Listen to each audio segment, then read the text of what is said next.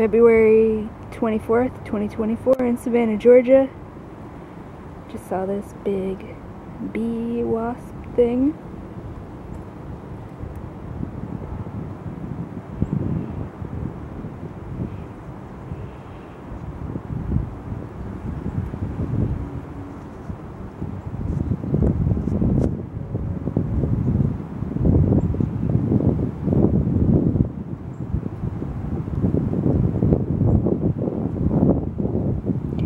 Marketing